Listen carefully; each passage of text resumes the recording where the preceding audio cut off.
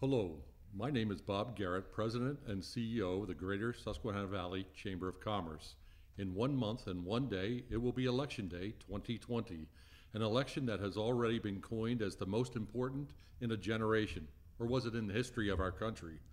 We welcome you to this candidates forum hosted by the Greater Susquehanna Valley Chamber of Commerce in partnership with the Lewisburg League of Women Voters. We also welcome our moderator, the Honorable Joseph McGranahan, the mayor of the borough of Shamokin Dam.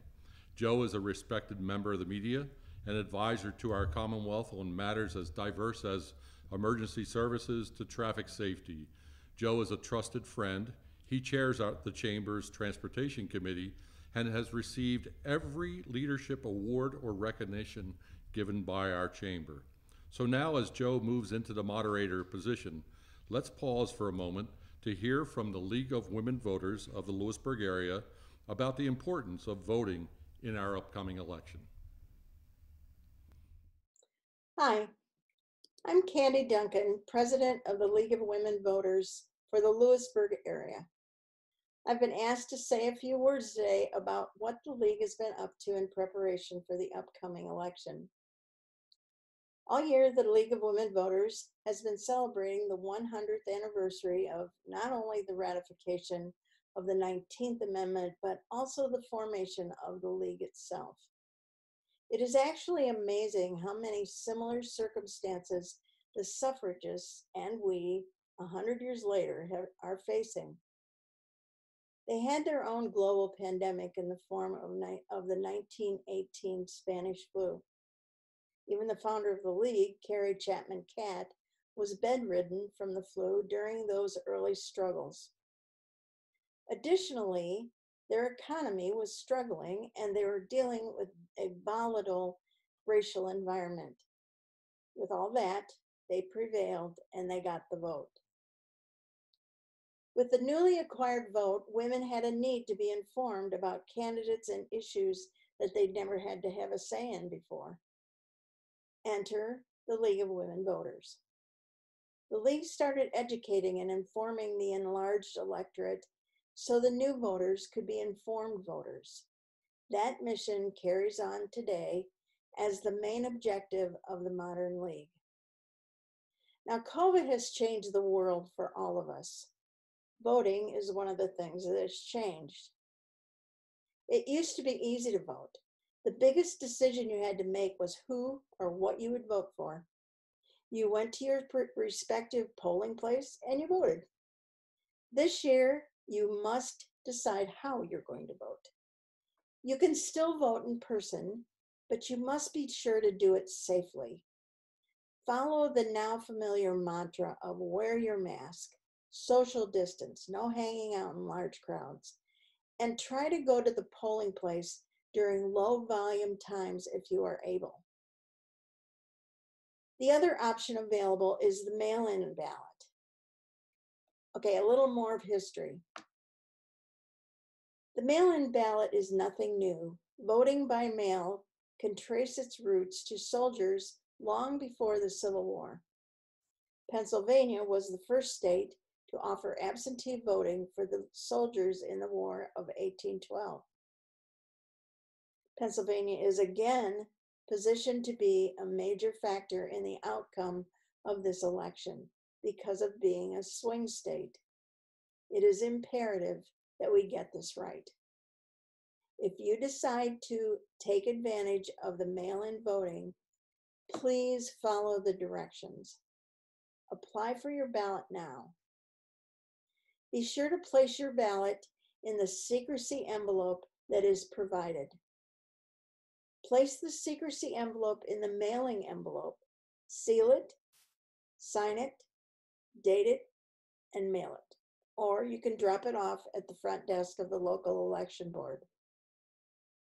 If you do not use the secrecy envelope, your vote will be discarded. And we won't we don't want to lose any votes. This is pretty basic information, but if you have any questions, we have various sites that you can help. You can always go to the League's website, lwvlewisburgarea.org. For election information, vote411.org or votespa.com. Most importantly, vote. And please do it safely.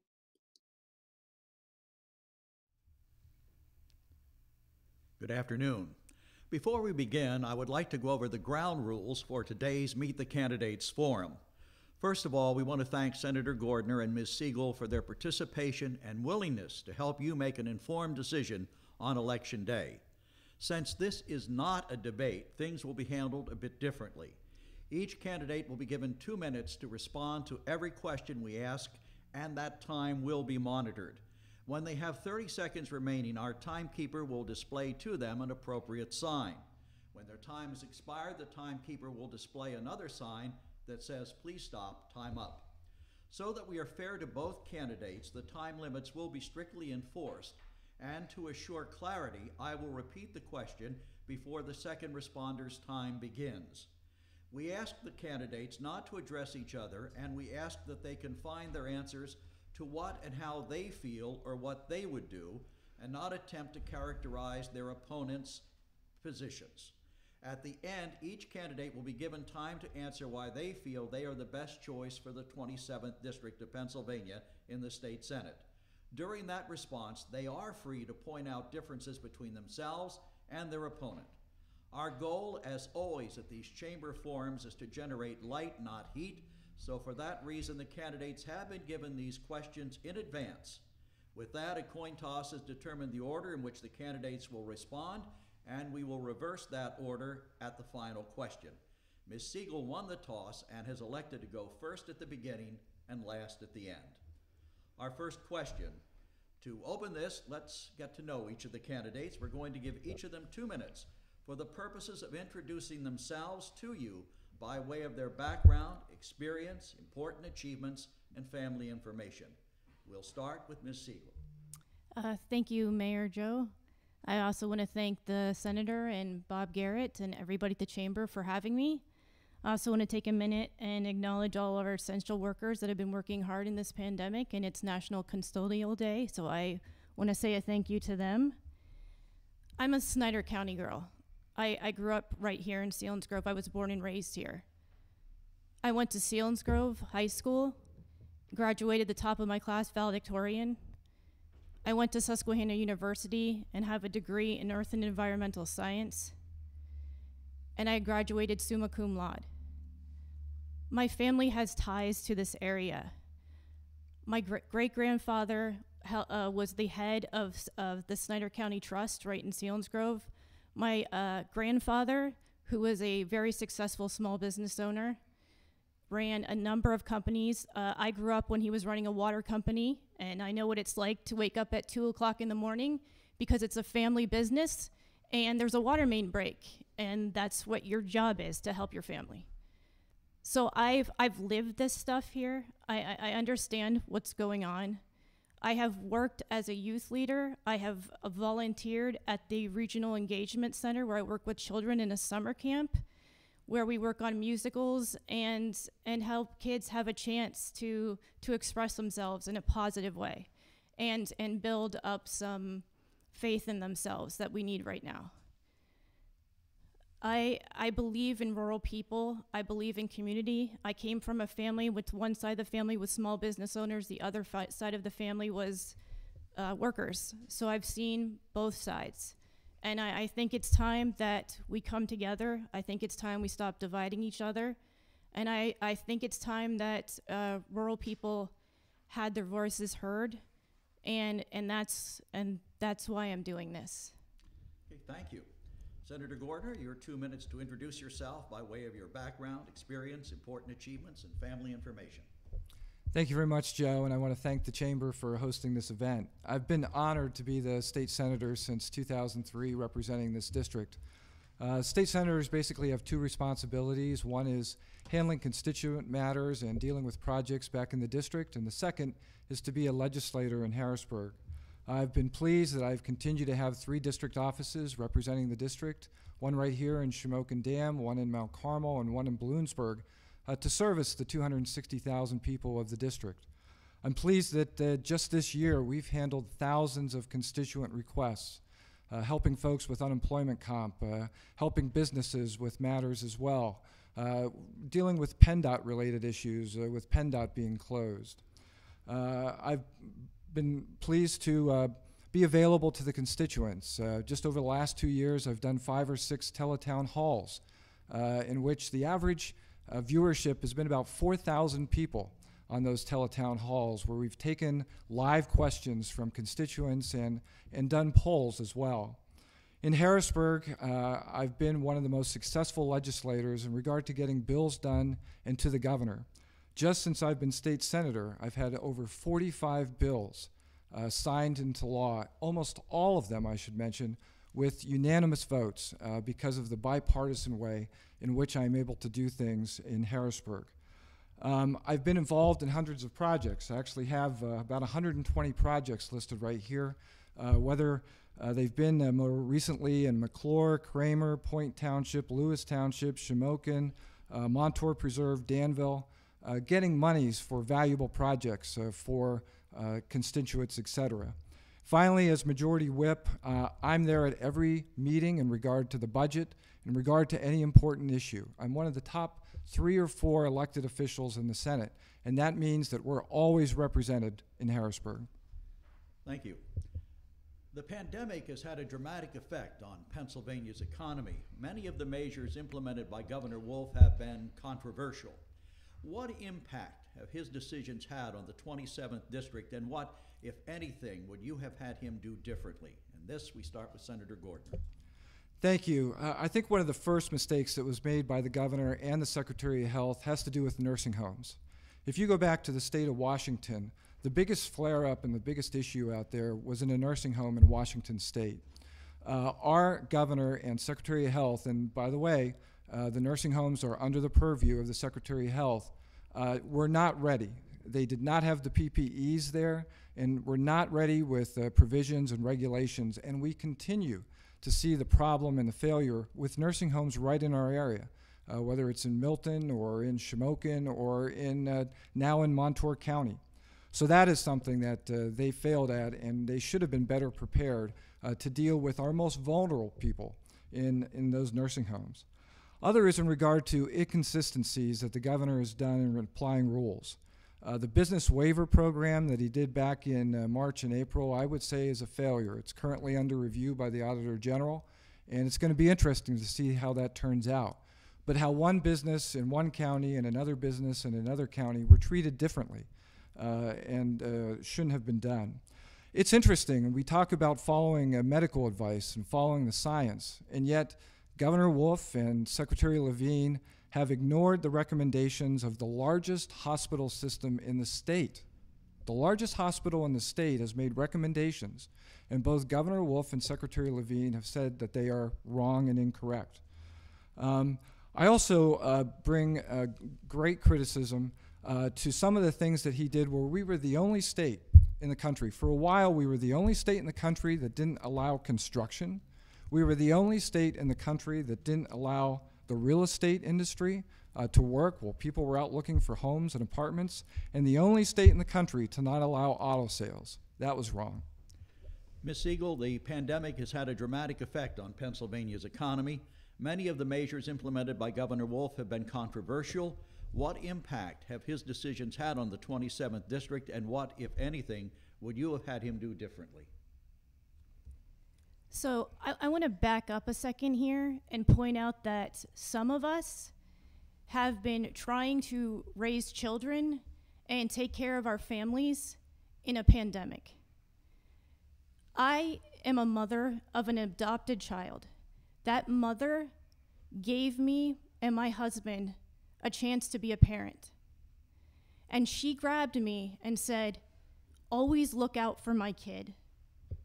We are talking about life here.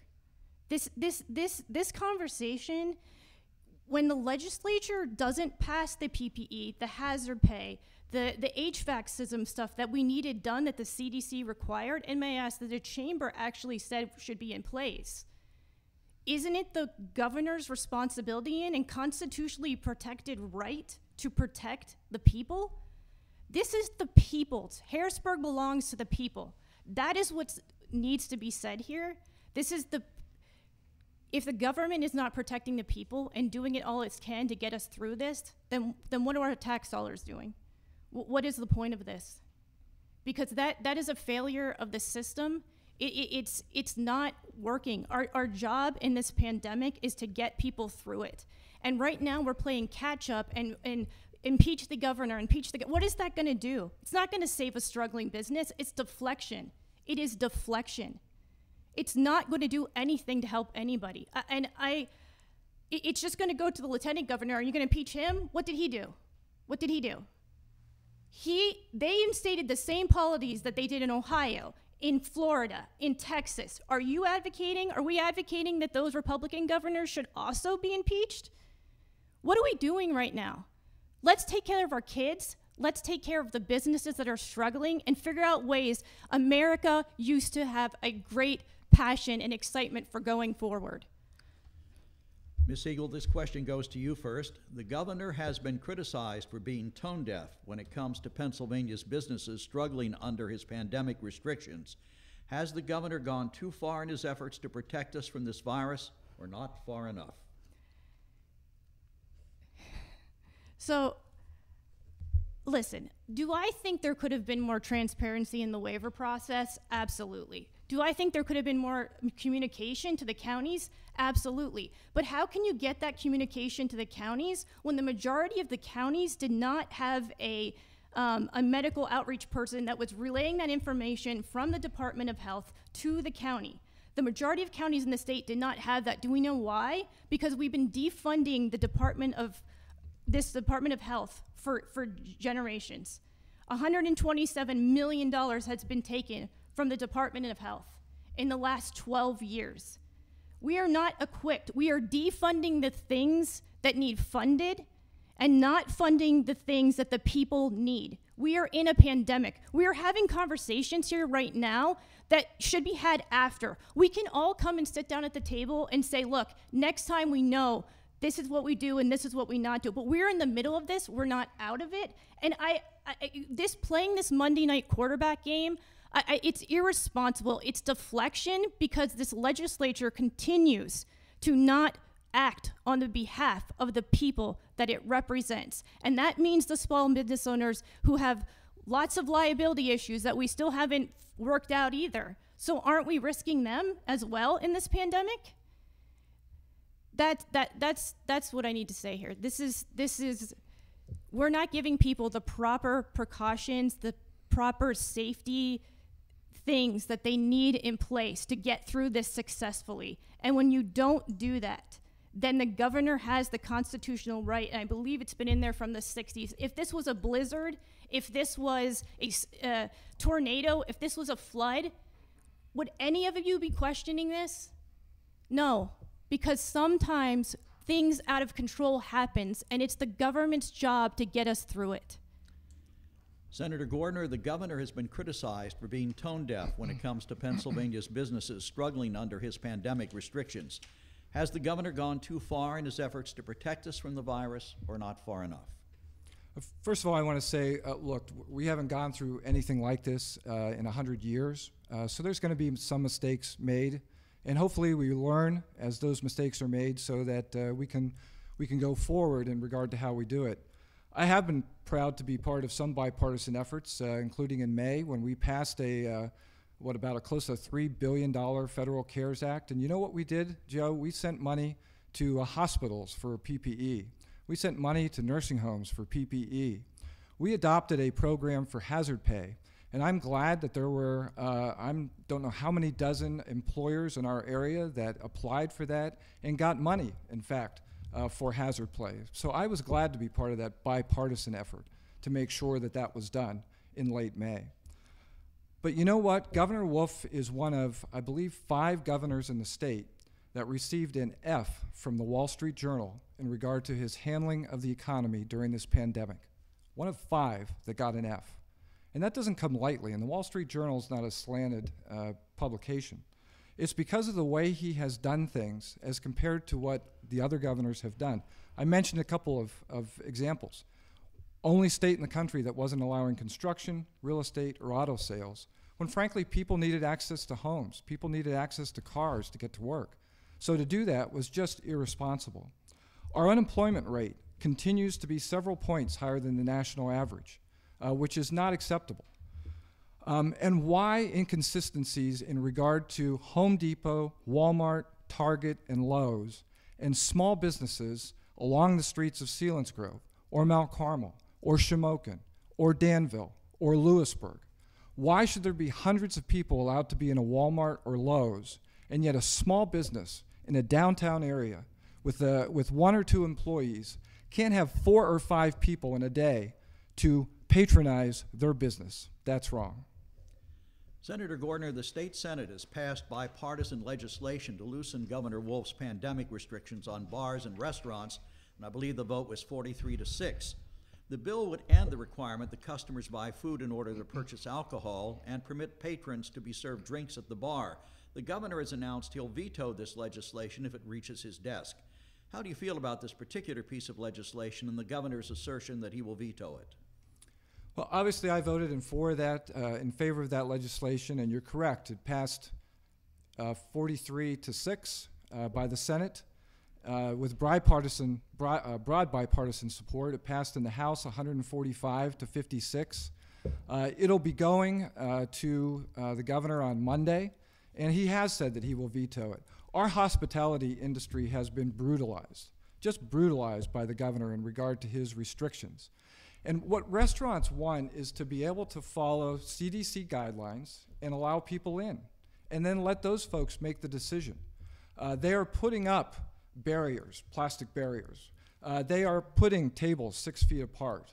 They are requiring masks when people come in.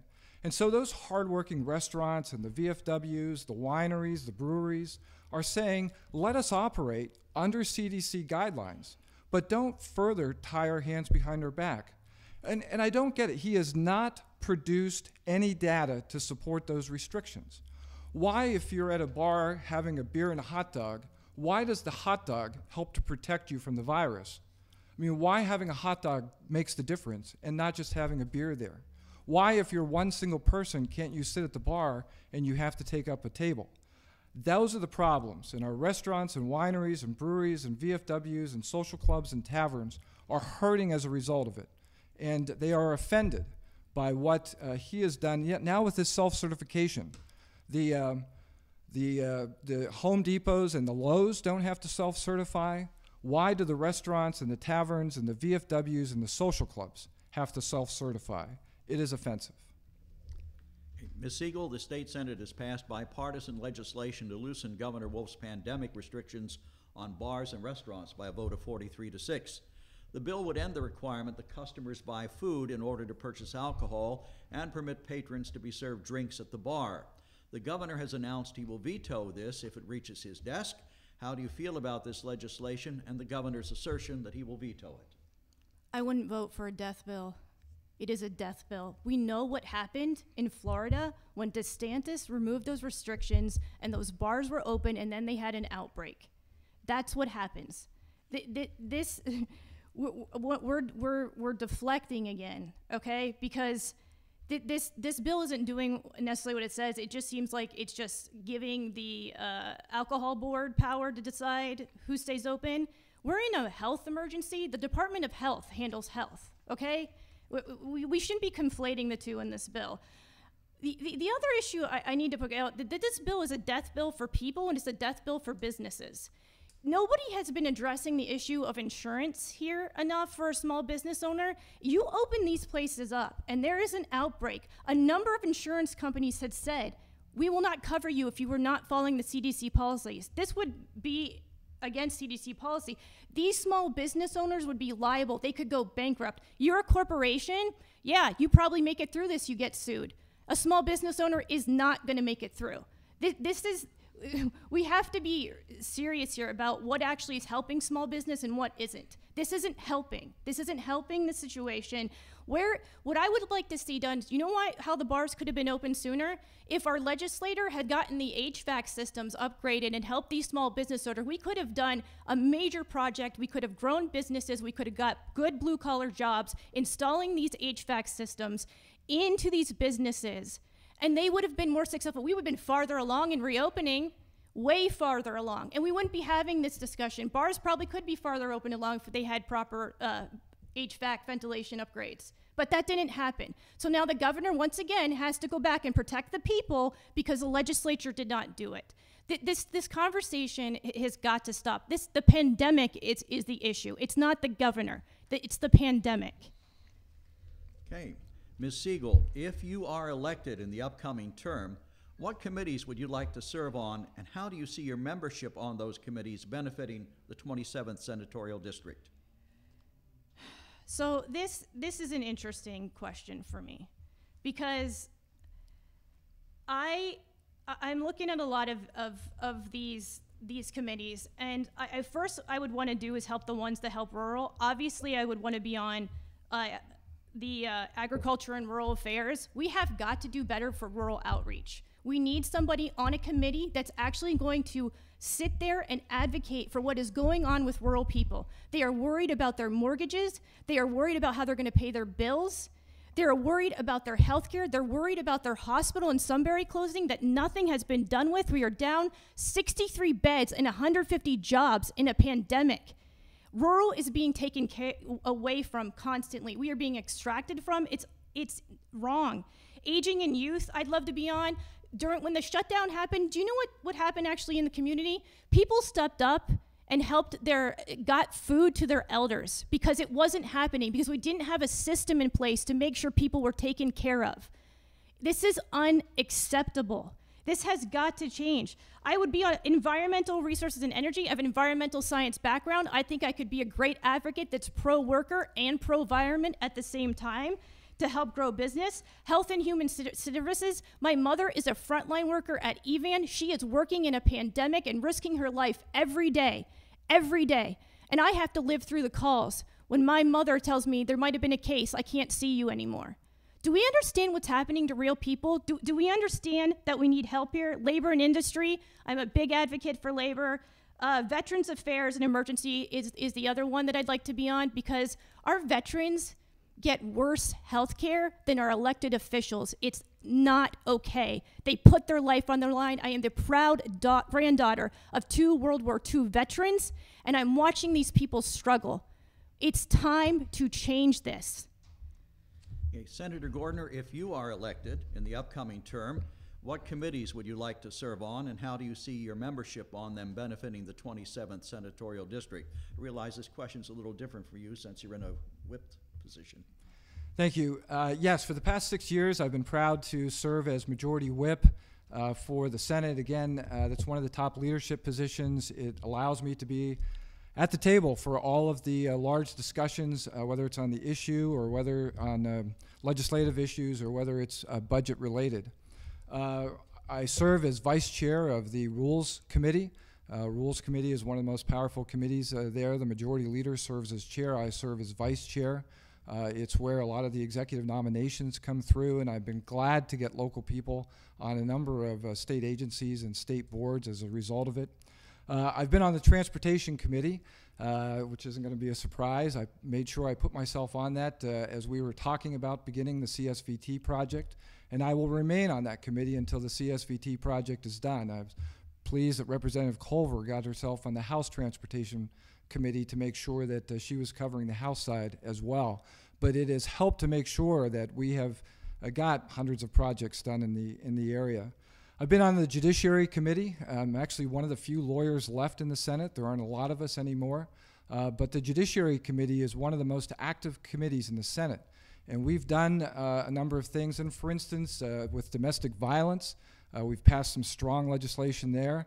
And just this year, as a result of the outbreak in regard to race issues, uh, we passed uh, four different bipartisan, unanimous bills through the Judiciary and the Senate uh, to make sure that we dealt more with uh, racial prejudice and those sort of hate crime issues. And finally, I've been on the Consumer Protection and Professional Licensure Committee. uh, for the entire 17 years I've been in the Senate. So making sure that consumer protection issues are identified, whether they're PUC related or elsewhere, and also with professional licensure. Uh, I'm able to help uh, the nurses uh, get their licenses when they graduate and get ready to work in Geisinger or Evangelical, and to uh, deal with those uh, health care related issues. Senator Gordner, Pennsylvania Supreme Court has just ruled that mail-in ballots in the general election can be counted for up to three days after Election Day. Many people are concerned about the potential for, for fraud, while others believe those fears are baseless. Do you have any concerns about how the vote will be handled in Pennsylvania, and what, if anything, do you need, uh, think needs to be done to assure a fair, accurate, and prompt count? First of all, I have uh, total confidence in our local counties and our local uh, voter registration offices. Uh, I've been in touch with the county commissioners uh, in Snyder and Montour and Northumberland as just an example. Uh, I know in the primary or prior to the primary uh, date, there were some issues in Northumberland County. that has been taken care of, and Representative Culver and I, which were involved in that, appreciate that. So I feel very confident in our local uh, county boards and our local voter registration offices. Very frustrated how political the Pennsylvania Supreme Court has become. Uh, there were five Democrats, two Republicans on it. Um, two weeks ago, and for a month, uh, the House and the Senate and the governor's office was in negotiations for an omnibus election code bill.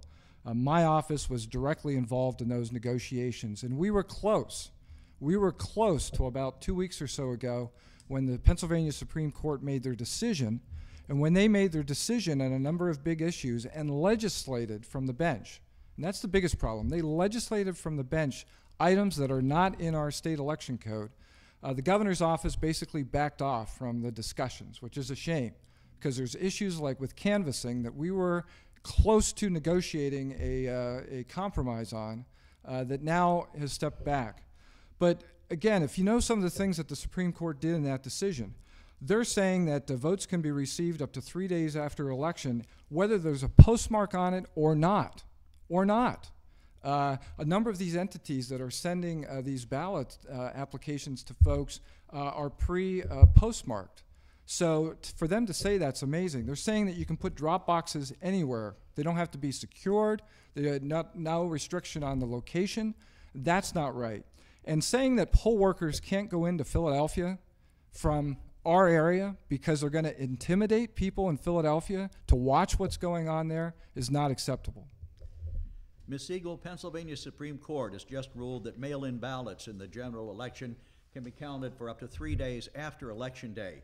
Many people are concerned about the potential for fraud, while others believe those fears are baseless. Do you have any concerns about how the vote will be handled in Pennsylvania and what, if anything, do you think needs to be done to assure a fair, accurate, and prompt count?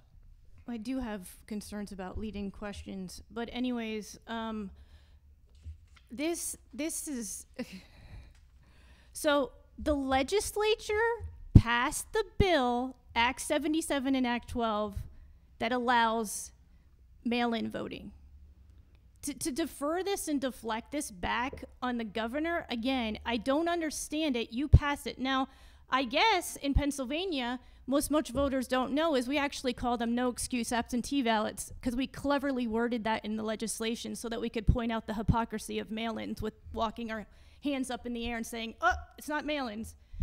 So, why is it the voters' fault if the mail does not get that mail in ballot there on time. It, if that voter is postmarking that ballot on election day, that voter's vote should not be disenfranchised. This is about upholding what our founders wanted us to do the right to vote.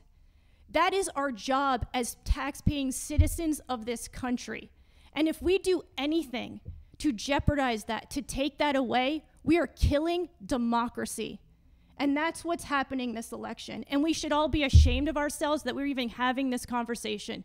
Working people deserve a chance to vote. My father got up every day at 5:30 morning, ran home on election day, showered quick to go stand in the poll lines for 3 hours. If he had mail-in voting, he wouldn't have done that. He could have submitted his mail-in ballot successfully and legally. Our veterans and those overseas have been voting this way since the Civil War. There is no fraud. Republicans win with mail in ballots as well. I, I, I, am, I, I cannot believe in a pandemic we are poo pooing the, the safe way to vote and, t- and disenfranchising people. It, it's not okay. We have the power, the voter has the power, and it's our right to use it. Ms. Siegel, the Central Susquehanna Valley Thruway Project is one example of a transportation or infrastructure project with a profound economic impact on the area it will serve. Without funding, it could have never happened. How important is funding PennDOT to you, and what steps should be taken to assure its long term financial viability? So I just want to take a second and thank all of the PennDOT workers who have been building the, the, the bypass. Um, it's going to be a lifesaver for my husband that commutes to, to Williamsport uh, an hour each way. We need these projects. The issue is when you're defunding uh, departments, they can't function, and then you have to put a tax on working people, like the gas tax, to try to filter that money back in because we've been putting it in places where it shouldn't be. The gas tax is hurting working people. It hurts rural people the most. You, we have uncapped a 12 cent flat cap, and now we are paying 80 cents on the dollar. So every 10 gallons of gas, you are paying $8 in tax, rural people. We drive everywhere. Our hospitals are closing. We got to drive to the next place. What the problem is here is we could have funded this with the way the Pennsylvania Constitution says, with a severance tax. It says anything that's mined from the ground in liquid state can be used to fund infrastructure. That money could have been put in a severance tax. We wouldn't be so burdened with a gas tax. There are other ways to fund things. And that's what we need to do here. We need to look outside the box, take working people's uh, into account here better, and put up legislation that adequately funds these things so they're not so they're successful, so that our workers can do exactly what they need to do. And PennDOT's had to cut programs and programs again just recently. They've had to lay off workers. This system is not working, okay? Get a severance tax, use that money to fund these programs. Stop taking money from one place and sticking it somewhere else. Government needs to be more honest. Government needs to be for the people and not overburden tax hardworking people that can barely pay some days to put $2 in their car. So I don't agree. I agree with we needed to do it, but it's just not the way it should have been done. Senator Gordner, the Susquehanna Valley Thruway project is one example of a transportation or infrastructure project with a profound economic impact on the area it will serve. Without funding, it would have never happened. How important is funding PennDOT to you, and what steps should be taken to assure its long-term financial viability?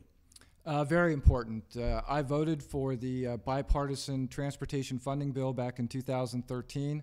I remember being at a rally with former Governor Ed Rendell and then Governor Tom Corbett standing together uh, with members, all of the uh, House and Senate Democrat and Republican chairs supported that transportation funding because it was so important. Uh, back then, Pennsylvania led the nation in the number of structurally deficient bridges, led the nation in it. That wasn't good. I am pleased that over the past five years, as a result of that funding, we have fixed 1,200 of those structurally deficient bridges, and Pennsylvania has led the nation over the last five years in fixing the most number of structurally deficient bridges so that those folks that are driving to and from work are making sure that they go over safe bridges. I am more than honored, more than pleased that as a result of that project, our area got the largest transportation funding project in the state. In the state. Think of that. Little old central Susquehanna Valley got the largest transportation funding project in the state, over $850 million.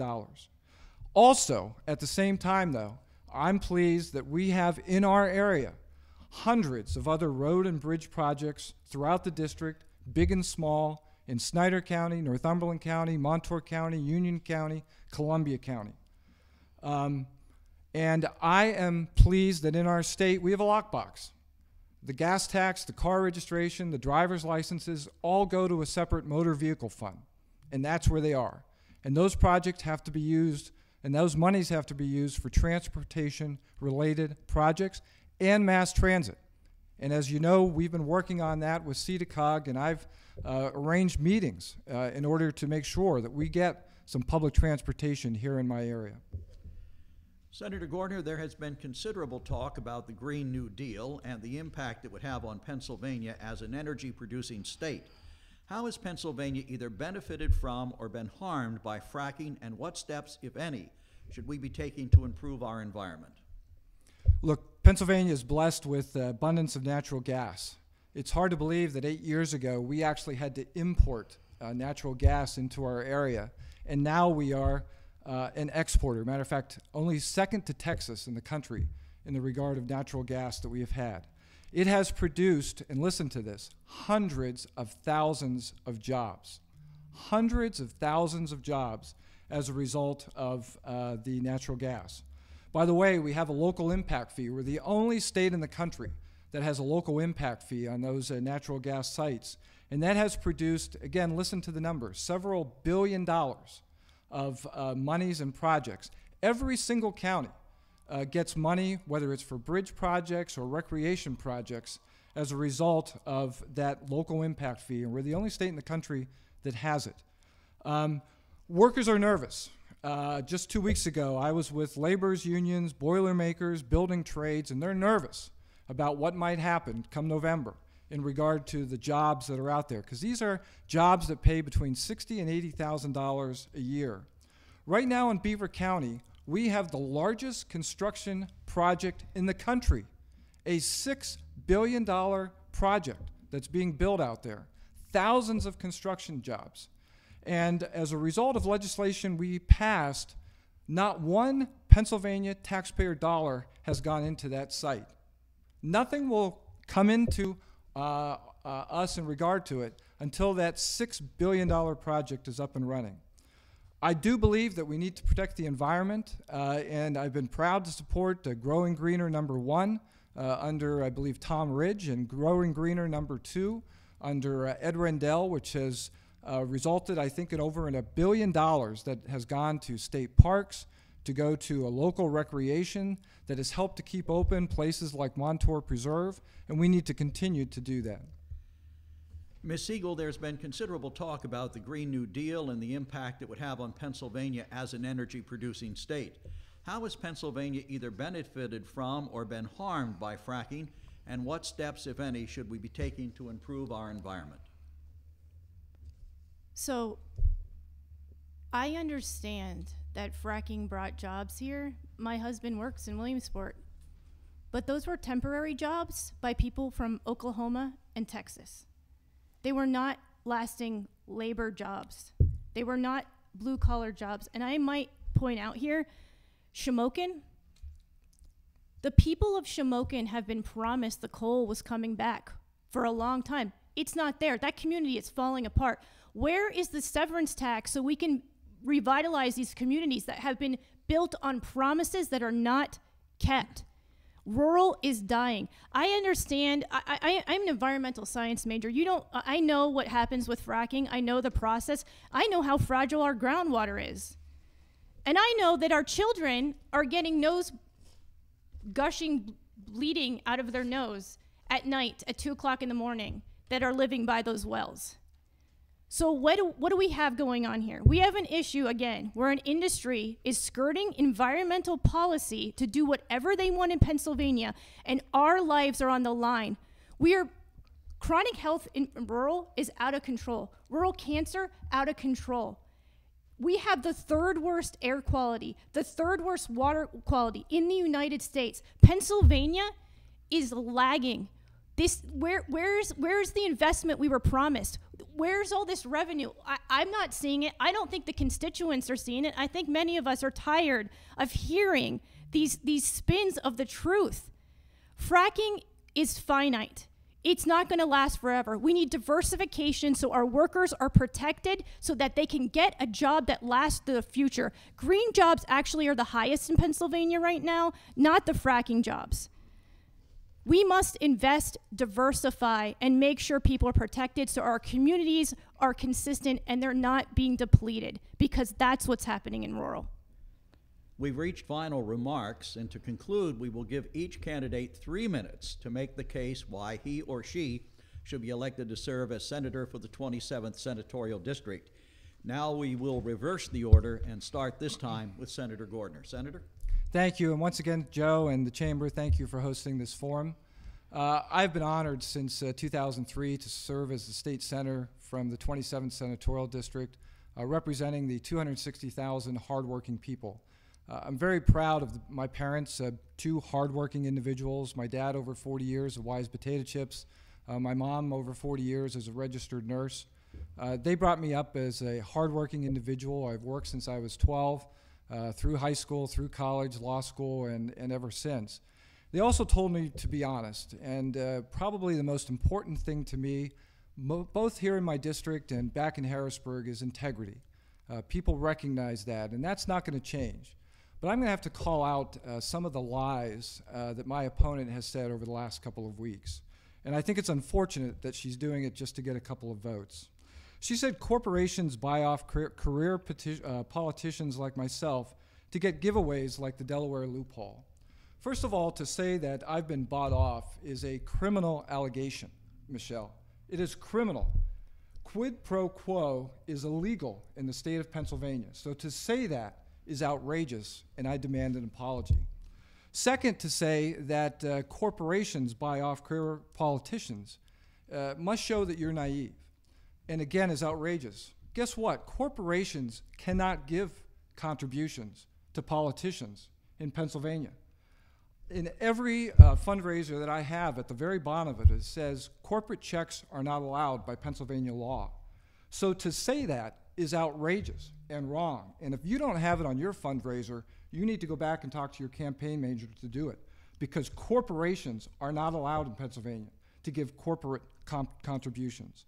I demand an apology on that as well. And to give giveaways like the Delaware loophole, guess what? I've been in the legislature for 28 years. We've never passed a Delaware loophole. There's never been any legislation to create a Delaware loophole. So that's false. So to put that out in text messages and in uh, articles uh, in the newspaper is just wrong. The most recent thing, and you referred to, to uh, here today, something you posted on your Facebook page, is that I voted to cut Department of Health funding. Diabetes, rural cancer outreach, sickle cell, rural trauma, Tourette's, oncology. You know what's funny about that?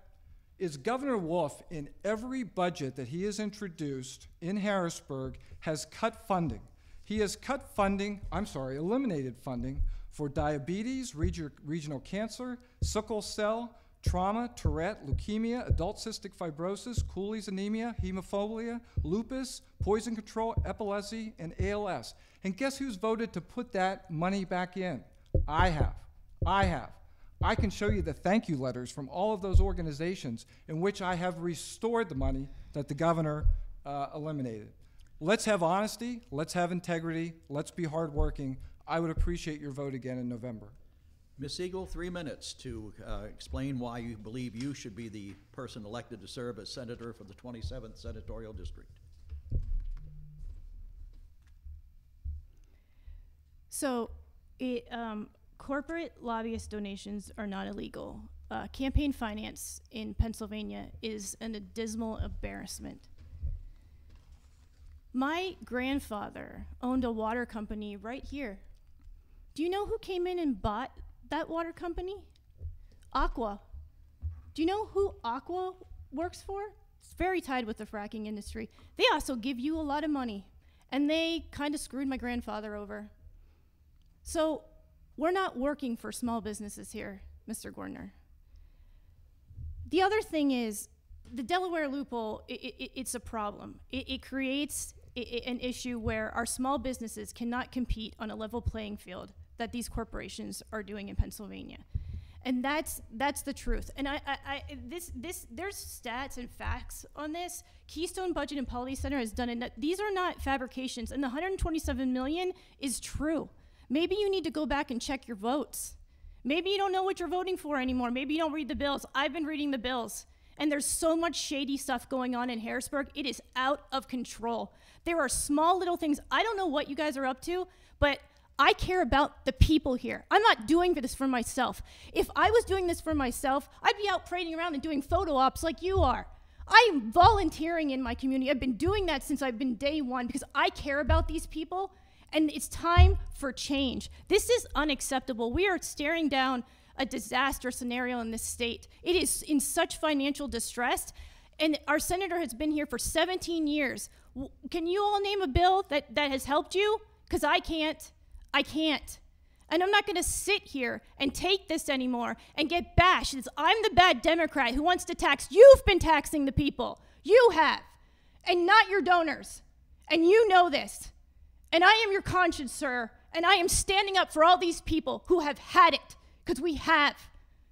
I'm not going to sit here. Do you know what my life has been? I have watched my dad work his butt off in this community as a laborer. And when his daughter got sick, his insurance would not pay for it. I had to go on Medicaid. That's what's happening to working people. That's what's happening in the real world. We are worried about our rent. We are worried about our health care. We are worried about our broadband. You think you fixed that? You passed a bill that just gives some people some grants. We need infrastructure development like FDR did. Put out these programs, get broadband out to the people, get them health care, stop closing their hospitals. You have did nothing when Sunbury closed. Nothing. Nothing. You stood there and gave a speech and a, you renewed an EMS grant that you renew every year. You did nothing. I went to that hospital. It saved my life. It saved my grandfather's life. It saved a friend of mine's life. 20 more minutes, he would be dead. Where are you? You're not here. You're not. You're not. I'd like to thank both of you. Um, despite getting a little heated at the end, you both have more than adhered to the ground rules of the debate. I think we have uh, achieved our goal to generate heat rather than, uh, rather light rather than heat. And I thank you both for taking the time to be here with us today. Michelle Siegel, the Democratic candidate for the 27th Senatorial District, Senator John Gordner, the incumbent senator representing that district. On behalf of Bob Garrett, our president of the chamber, and all the members of the chamber, thank you so very much for being with us today. Take care.